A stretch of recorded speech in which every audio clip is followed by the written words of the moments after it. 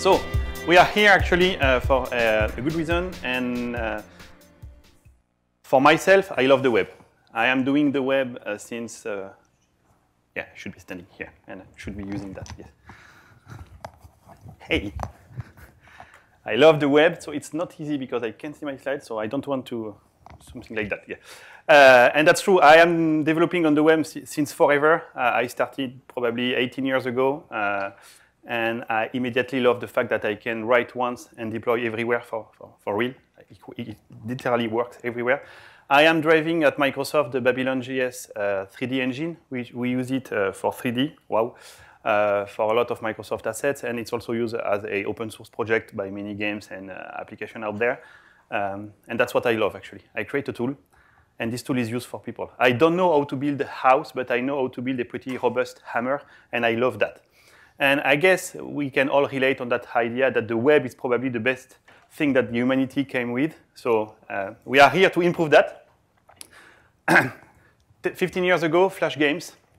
I loved that period of time. It was very fun. Um, Flash died, uh, and we replaced it by the web, and I think it was a good thing. Sorry, Adobe, but I think it's good to be only open. Uh, and now we came with very more advanced stuff. The web today is pretty powerful on the web. Uh, uh, recently, I was able to play Minecraft, which is probably my favorite game, on the web. Like the entire Minecraft stuff, where I, I spend ages playing with, it's entirely available on the web. If you go on classic.minecraft.com, it's going to be Minecraft only on your browser. So we did wonders. We did wonders, but unfortunately, I love the web, but in the same time, it drove me crazy. Like, we have so many limitations yet. And I have friends, I have game developers that use different um, languages like Unity, Unreal, whatever. And I'm a bit jealous. I'm a bit jealous. Yes, they can't reach the same amount of people as me, but they have tools, they have toys, and as a developer, I am jealous. I want more toys. And I guess that's, yeah, that's them calling. Like, uh, yeah. you can be jealous. Um, so we're going to cover uh, many topics uh, that we have in our agenda. Um, among them, they're going to be assets management. It's a problem. We know that on the web when you share your IP. Like five years ago, I worked with uh, Ubisoft on Assassin's Creed Pirates for the web.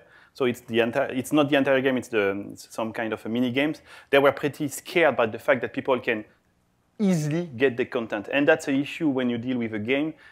People can spend ages writing and creating the assets, and, then, and they may not be interested to share them. So that's something we need to discuss. Assets management, by the way, it's also about size of downloads.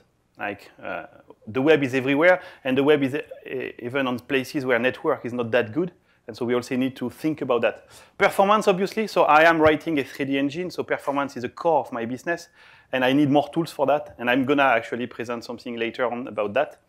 Uh, we're going to also talk about, obviously, cloud support. That's where the industry is also going to. And so we need to uh, make sure that the web stay relevant in that space. So it's going to be about IP protection is going to be about file size. It's going to be about compression. It's going to be about a lot of stuff like WebGPU. Yay, I love this one. Uh, threading. Yes, I'm going to be the champion of this one as well. Uh, WebAssembly stuff. It's going to be about new codecs. It's going to be about gamepad support, etc., etc. We're going to have a lot of really interesting stuff. And I just want to say, let's change the web together because that's the best tools, uh, the best tool we have, even more better than what it could, what it have been, and it will be better than that. I know that. We are all here with that in mind. So, and I'm pretty impressed, to be honest. We have a lot of people from different organizations. Most of the time, we call us competitors.